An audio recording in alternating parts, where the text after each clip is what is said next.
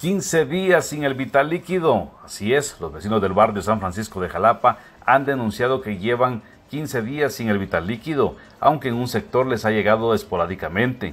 Pero en los últimos tres días no les ha llegado absolutamente nada y por parte de la municipalidad y Jalapagua nunca han respondido a su interrogante. ¿Por qué no cuentan con el servicio?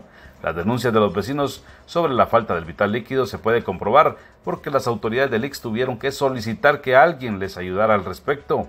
Fueron los bomberos voluntarios los que acudieron a llevar el vital líquido, aunque sea para los servicios sanitarios. Es César Vela quien nos amplía esta información.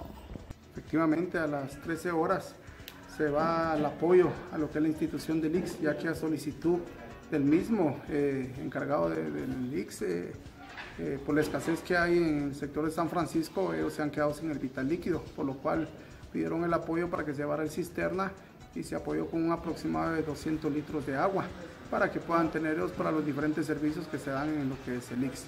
Siempre sus bomberos voluntarios a, disposición, ¿verdad? Y a presto para el apoyo que necesita el pueblo jalapaneco.